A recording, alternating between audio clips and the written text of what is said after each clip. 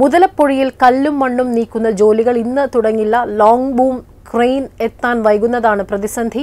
നാളെയോടെ ഇത് എത്തിക്കാനാണ് ശ്രമിക്കുന്നത്. വിവരങ്ങളുമായി ഏഞ്ചൽ മേരി മാത്യു ചേരുന്നു. ഏഞ്ചൽ ഇന്നലത്തെ മന്ത്രിതല ചർച്ചയ്ക്ക് പിന്നാലെ പണികൾ ഇന്ന് രാവിലെ തുടങ്ങുമെന്ന് അറിയിച്ചു. പിന്നീട് അത് ഉച്ചയ്ക്ക് ശേഷമായിരിക്കുമെന്ന് പറയുന്നു. ഇപ്പോൾ വാർത്ത വരുന്നു അത് നടക്കില്ല എന്ന്. എപ്പോഴേക്കും തുടങ്ങും എന്താണ് പ്രതിസന്ധി? അമീന പാറക്കല്ലുകൾക്കിടയിലുള്ള അതായത് പുലിമുട്ടികൾക്കിടയിൽ ഇടിഞ്ഞിറങ്ങിയ കല്ലുകളും മണ്ണും നീക്കുന്നതിന് വേണ്ടി ലോങ് ബൂം ക്രെയിൻ എത്തിക്കേണ്ടതുണ്ട്. ഇത് ചെന്നൈയിൽ നിന്നോ കൊച്ചിയിൽ നിന്നോ എത്തിക്കാനായിരുന്നു അദാനി ഗ്രൂപ്പ് ശ്രമിച്ചിരുന്നത്. എന്നാൽ സാങ്കേതിക കാരണങ്ങളാൽ ഇന്ന് ക്രെയിൻ എത്തിക്കാനാകില്ല എന്നാണ് അദാനി ഗ്രൂപ്പ് അറിയിക്കുന്നത്. സാങ്കേതിക പ്രശ്നങ്ങളുണ്ട്. അതിനാൽ തന്നെ ലോങ് ബൂം ക്രെയിൻ ഇന്ന് എത്തിക്കാനാകില്ല. പക്ഷേ അതിവേഗം ക്രെയിൻ എത്തിക്കുന്നതിന് വേണ്ടിയുള്ള ശ്രമം തുടരുകയാണെന്നാണ് അദാനി ഗ്രൂപ്പ് അറിയിക്കുന്നത്. അങ്ങനെയെങ്കിൽ നാളെയോടുകൂടിയെങ്കിലും ക്രെയിൻ എത്തിക്കാനാകും എന്നുള്ള പ്രതീക്ഷയും അവർ നൽകുന്നുണ്ട്. ക്രെയിൻ എത്തിയാൽ ഉടൻ തന്നെ പണികൾ തുടങ്ങും എന്നാണ് അറിയിക്കുന്നത്.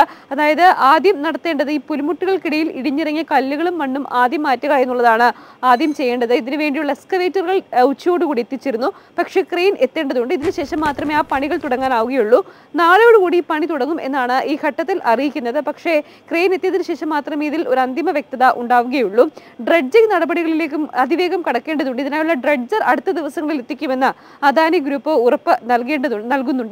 അതേസമയം തന്നെ ഈ പൊഴിമുഖത്തുള്ള മണ്ണ് അത് പൂർണമായും എടുത്തു മാറ്റുന്ന സാൻഡ് ബൈപ്പാസിംഗ് ജോലി അത് ഹാർബർ എഞ്ചിനീയറിംഗ് ഡിപ്പാർട്ട്മെന്റിനെയാണ് ഏൽപ്പിച്ചിരിക്കുന്നത്. ഇതിനുള്ള നടപടികളും അടുത്ത ദിവസങ്ങളിൽ തന്നെ തുടങ്ങുമെന്നാണ് അറിയിച്ചിരിക്കുന്നത്. പക്ഷേ ഇന്ന് കല്ലും മണ്ണും നീക്കുന്ന ജോലികൾ അതായത് പുലിമുട്ടുകൾക്കിടയിലെ കല്ലും മണ്ണും നീക്കുന്ന ജോലികൾ തുടങ്ങുമെന്നായിരുന്നു അറിയിച്ചിരുന്നത്. പക്ഷേ അത് തുടങ്ങാനായിട്ടില്ല. ക്രെയിൻ എത്താത്തത് ഒരു പ്രതിസന്ധിയാണ്. അതിവേഗം ക്രെയിൻ എത്തിക്കാനുള്ള നാഗർകോവിൽ നിന്നോ ചെന്നൈയിൽ നിന്നോ അല്ലെങ്കിൽ കൊച്ചിയിൽ നിന്നോ ഈ ക്രെയിൻ എത്തിക്കാനുള്ള ശ്രമം തുടരുകയാണ് എന്നാണ് അദാനി ഗ്രൂപ്പ് അറിയിക്കുന്നത്. ക്രെയിൻ എത്തിയാൽ ഉടൻ തന്നെ നാളെ തന്നെ പണി തുടങ്ങുമെന്നുള്ള വിശദീകരണവും അദാനി ഗ്രൂപ്പ് നൽകുന്നുണ്ട്.